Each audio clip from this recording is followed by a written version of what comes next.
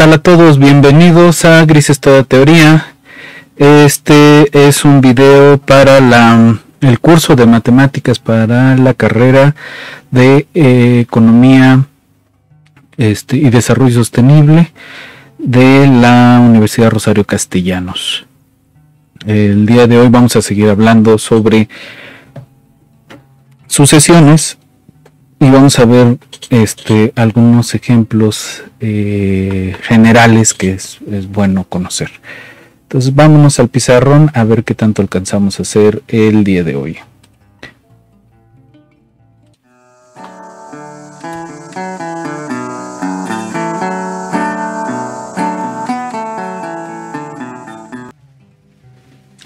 Entonces, eh, de lo primero que quiero hablar es de eh, una sucesión que se llama, o, una familia de sucesiones. Este, vamos a ponerle sucesiones geométricas, ¿no? Eh, se le va a llamar geométrica si el término general es como el primer término por una constante. Eh, de forma genérica, podemos pensar que este, si dividimos a n entre a n menos 1, eh, esto nos va a dar una constante r. Es decir, que este lo vamos a, a poder escribir una R constante, ¿no? Eh, generalmente no nula, ¿no? Entonces, eh, lo que tenemos es que podemos escribir el enésimo término de la sucesión como R por a n menos 1. Luego, el a n menos 1, si lo dividimos entre el a n menos 2, o bueno, ajá, vámonos hacia abajo. Esto va a ser también R por A n menos 2. Entonces el de aquí, el AN, pues es R por R por A n menos 2, ¿no? que es R cuadrada por A n menos 2. Eh, y así nos podemos ir hasta justamente el a 1 que pues también es R por A 0 ¿no? entonces eh,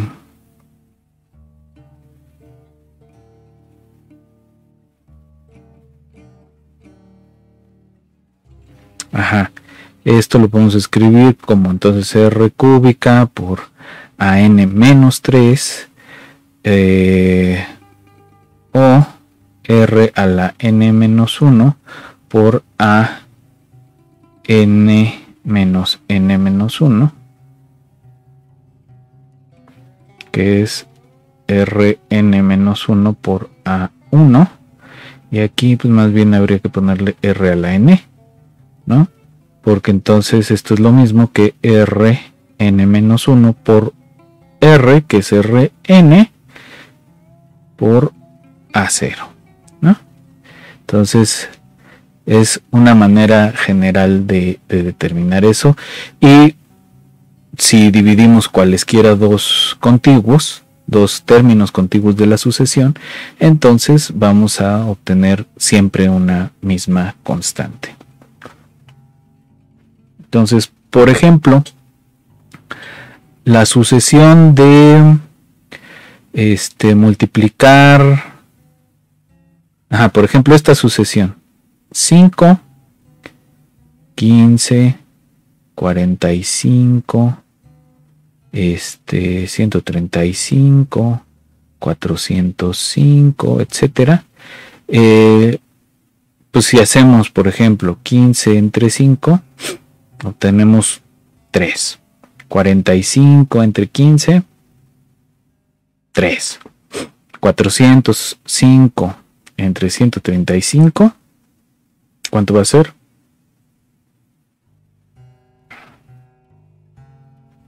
Pues 3 también, ¿no? Entonces, eh,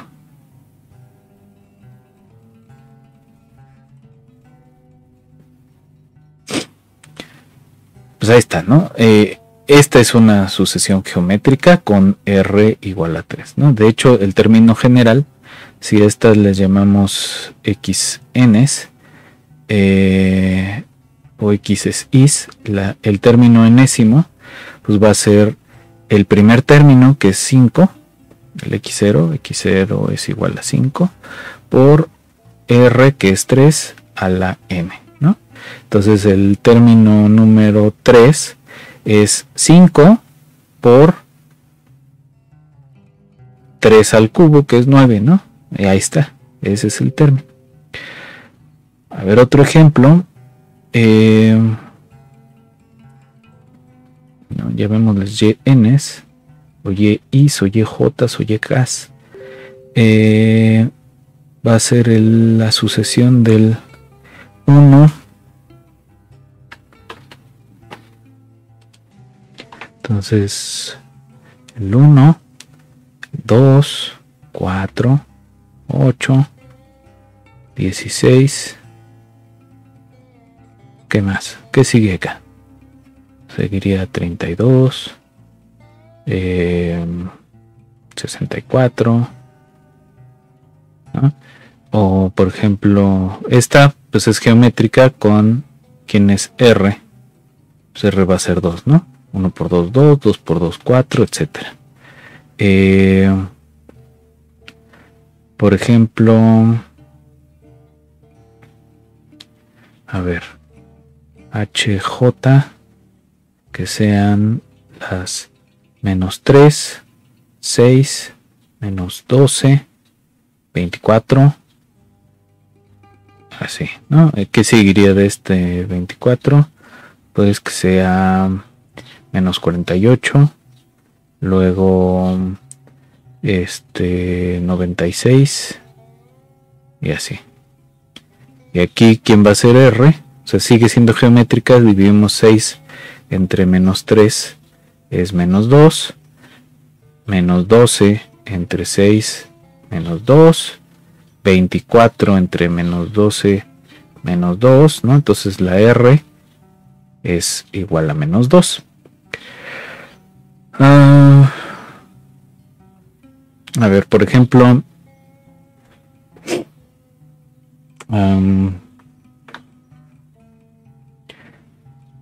ajá.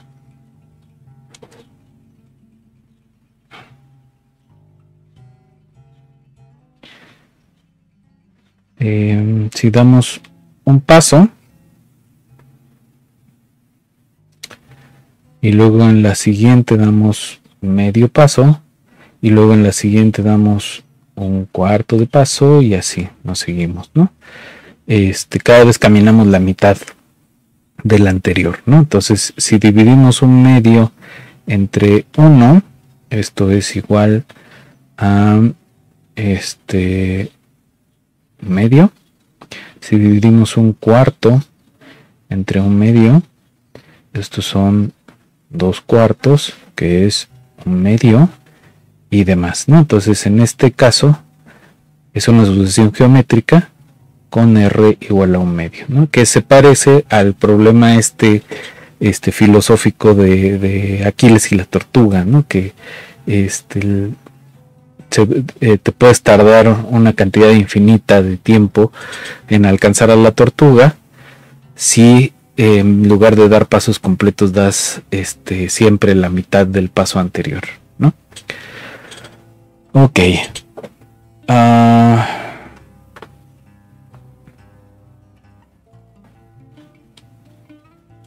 pero eso también describe una, este, una geométrica, ¿no? Entonces, este,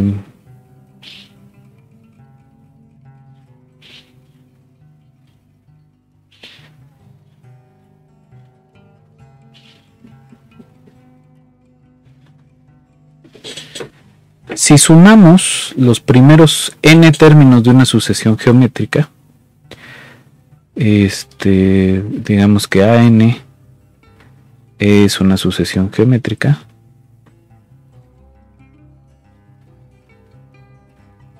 Y tomamos la suma, la vamos a representar con esta sigma mayúscula, desde que n es 0 hasta una n mayúscula eh, de los términos AN. ¿Cómo van a ser estos? Pues digamos, el A0 se queda solito, pero los que siguen son de la forma R por AN por A1, digamos.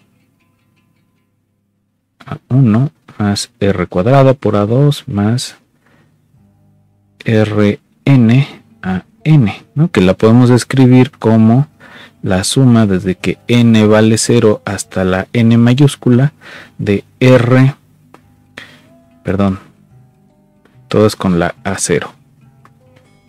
A0, A0, A0, ¿no? Esta va a ser como R a la N minúscula por A0, ¿no? Es la suma de estas cosas. Eh,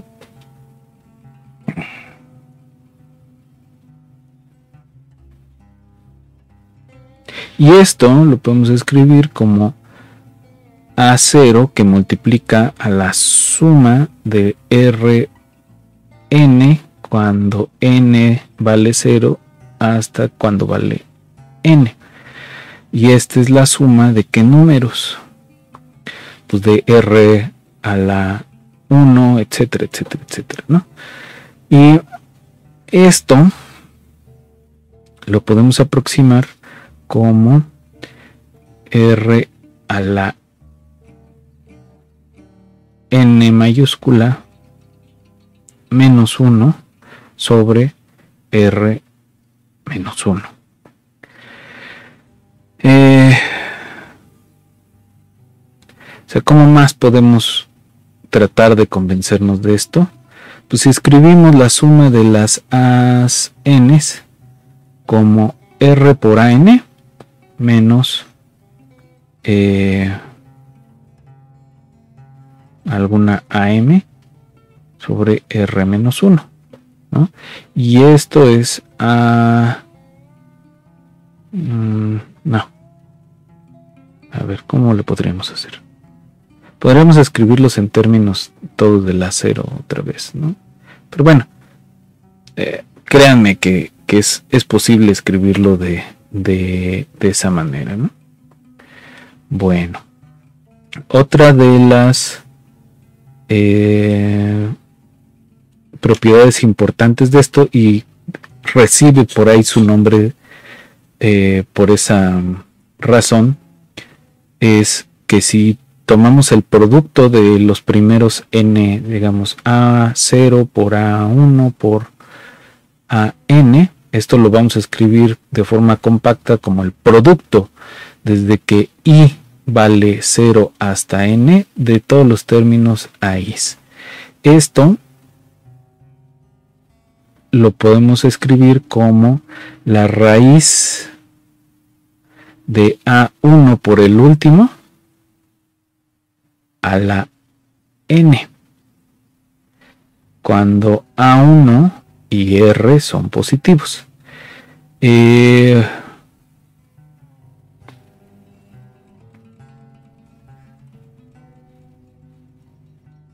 entonces, ¿qué es esto? Pues esta es la media geométrica del de, primero y el de los términos en la sucesión, ¿no? Entonces, un poco por ahí va el nombre de geométrico. Este, ok. La otra que quería revisar más o menos este, con cuidado es la sucesión eh, o las sucesiones aritméticas. Entonces las sucesiones aritméticas vamos a tener algo muy parecido en el caso general eh, lo que vamos a tener en lugar de, dividir los términos, vamos a tomar la diferencia entre los términos. Entonces, eh, vamos a considerar el a n más 1 menos el a n igual a una d constante de este pues, positivo si se puede eh, bueno con que no sea cero nos basta entonces eh, cómo vamos a ir construyendo esa sucesión pensando en esta cosa pues vamos a partir de un a0 luego el que sigue el a1 pues va a ser a0 más d ¿no? O sea, lo que quisiéramos es que A1 menos A0 fuera D, entonces eh, le sumamos, ¿no? Entonces A1 va a ser A0 más D. A2 pues va a ser A1 más D. Pero el A1 era A0 más D más D, ¿no? Entonces esto es A0 más 2D. ¿no? Y así nos seguimos y en el término enésimo pues vamos a tener A0 más N veces D. Ok. Uh,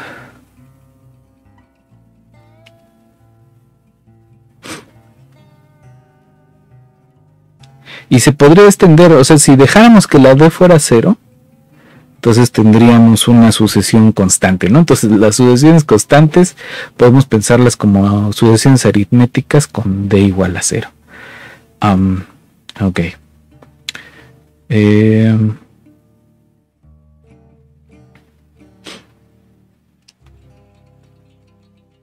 ahora, este...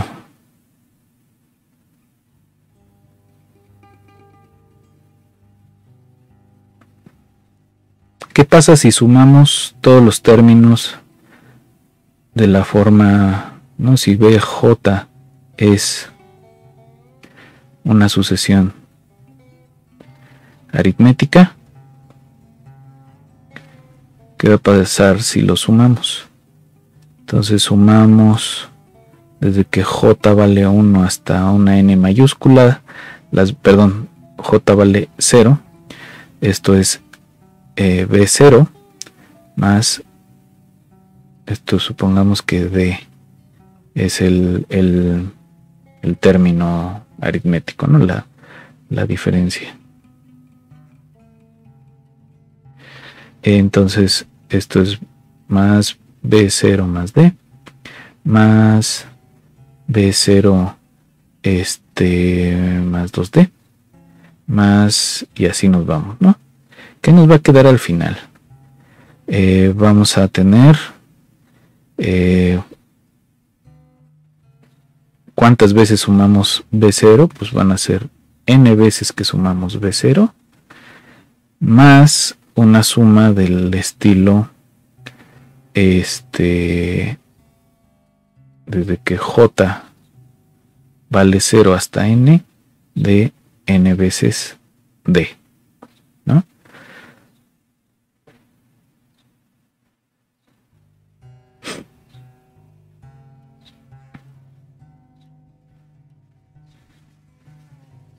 Que aquí un poco la de pues está medio eh, la podemos factorizar, ¿no? O sea, como todos son de la forma n por d y aquí tenemos también esta n, eh, esto es como n veces b0 más d que multiplica la suma desde j igual a 0 hasta n de las j, aquí me equivoqué las J. Este, esta suma es este eh, fácil de, de, escribir. Eh,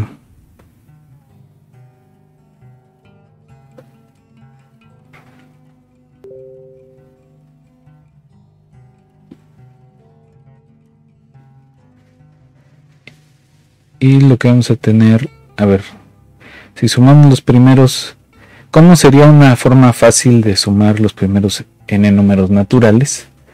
Este, pues sumamos el 0 más el 1 más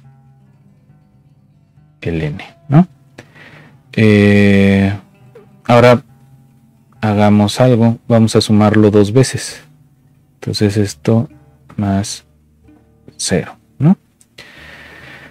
Entonces, fíjense que tenemos, eh, perdón, aquí tenemos n menos 1,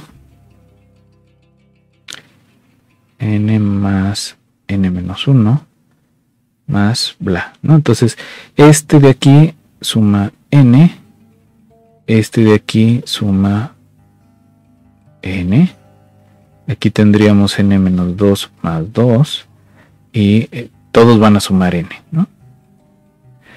Eh, de hecho, si partimos desde el 1, que este lo podríamos poner como j igual a 1, eh,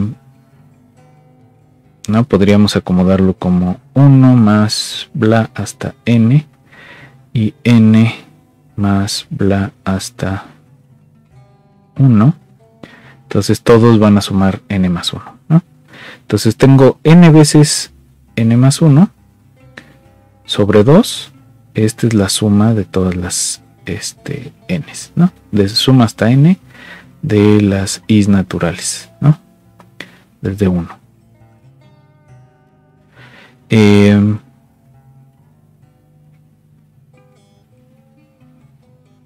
entonces tenemos n por b0 más d por n por n más 1 sobre 2. ¿no? Eh,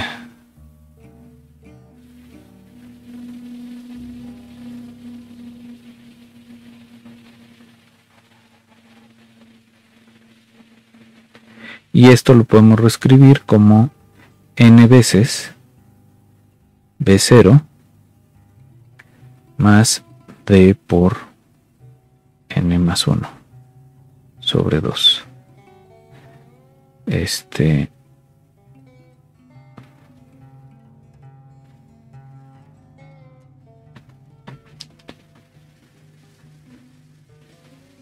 ah, ya sin la d Ajá. b0 más n más 1 sobre 2.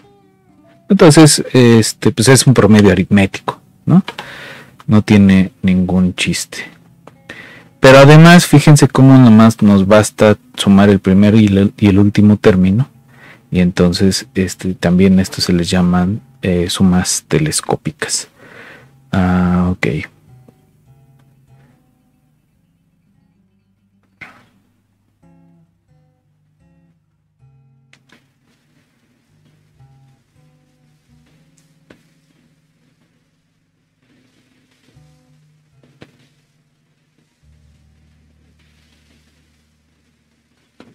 Pasa con el producto. Eh, bueno, eh, luego podemos revisar también el producto. Realmente no, no es tan relevante esta parte. Lo que sí quiero dejar ya para finalizar es eh, lo que se llama la sucesión de Fibonacci. La sucesión de Fibonacci va a representar la siguiente situación. Supongan que tienen una pareja de conejos. ¿no? Que conejos. Pareja de conejos. Entonces, una pareja de conejos tiene cuántas parejas puede dar eh, vida a una pareja de conejos. Eh, en el siguiente mes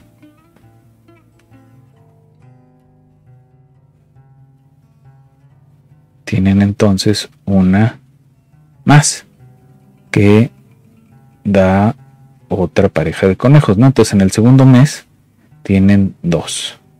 Luego tienen otra más. No, tienen dos más.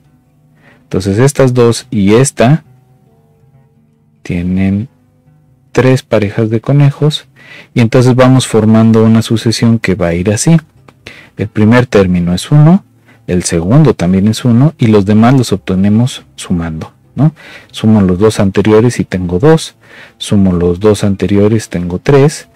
Eh, esta es la sucesión de Fibonacci. Leonardo de Pizza, de Pisa, perdón.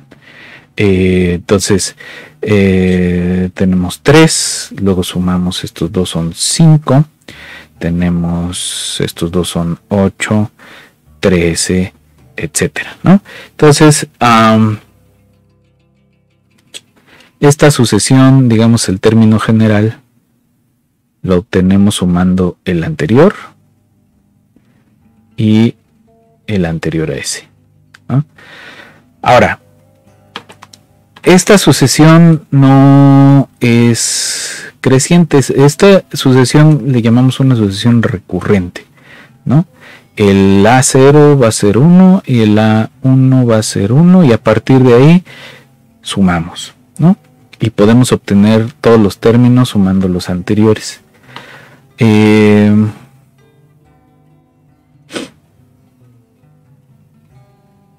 ahora, este...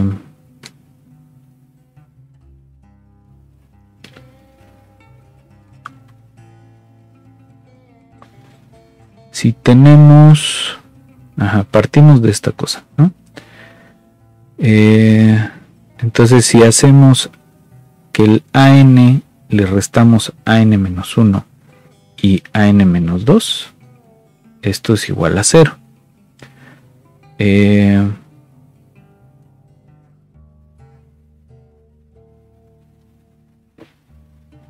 por otro lado,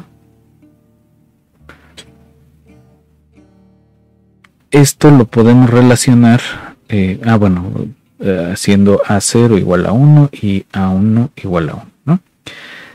Esto lo vamos a relacionar con el siguiente polinomio, que es t cuadrado menos t menos 1 igual a 0.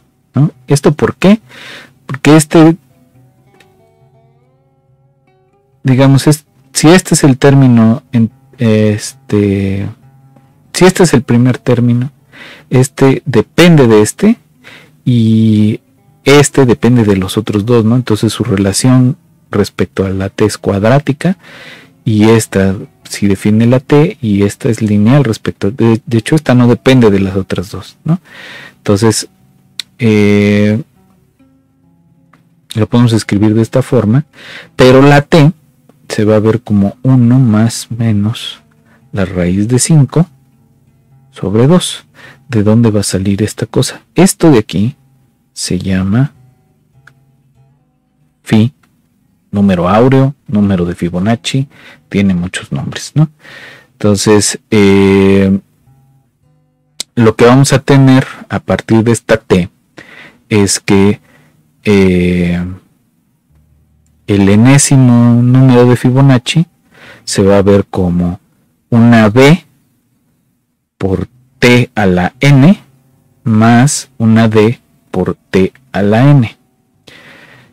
Eh,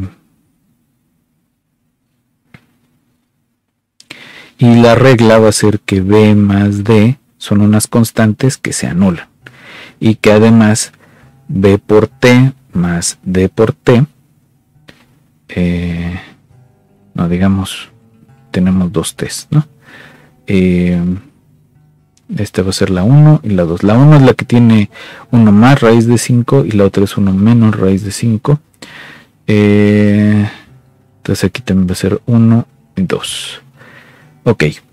Ah, de estas dos relaciones, de esta y esta, tenemos que b es igual a 1 sobre raíz de 5 y d es igual a menos 1 sobre raíz de 5.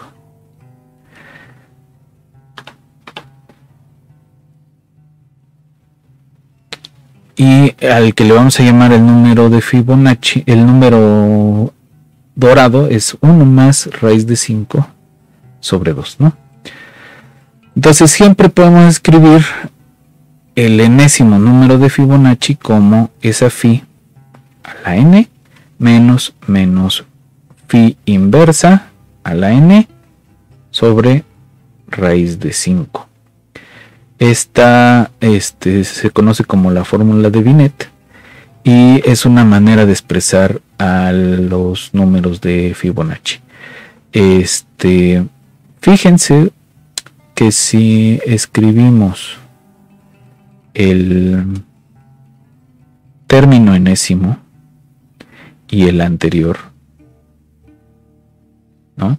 Lo que vamos a tener es phi n menos menos phi a la un, menos 1 a la n sobre raíz de 5 sobre phi a la n menos 1 menos menos phi a la menos 1 a la n menos 1 sobre raíz de 5. ¿no? Estas dos raíces de 5 se van a ir a ver al mago. Y entonces vamos a tener phi n menos menos phi inversa a la n sobre phi n menos 1 menos menos phi a la menos 1 a la n menos 1. ¿No? Y esta de aquí la vamos a poder escribir como phi n, phi, perdón, que multiplica a phi n menos 1. Eh, y aquí vamos a escribir phi menos phi a la menos 1 que multiplica a a la menos 1 a la n, ¿no? Y eso sobre esto otra de aquí, a la n menos 1. n menos 1. ¿no? Eh, entonces, lo que vamos a tener es que en el eh, ajá, en el límite cuando n tiende a infinito, este cociente va a ir a dar a el número Entonces, bueno. Eh, y hay varias propiedades de esto. Podemos escribir cualquier número natural con una suma de números de Fibonacci. Eh, la mayoría de las flores este, de, plantas de cualquier especie, este, la podemos, eh, si contamos los pétalos, pues tienen un número de Fibonacci de pétalos, etcétera. ¿no? Hay un montón de propiedades interesantes, pero bueno, por hoy lo vamos a dejar aquí eh, y nos vemos en la siguiente sesión donde vamos a seguir hablando de funciones, vamos a hablar primero de continuidad y luego vamos a hablar sobre derivadas. Entonces, eh, bueno, vamos a hablar de continuidad y de límites de funciones, ¿no? Entonces, vamos a dejarlo aquí y nos vemos en una siguiente sesión.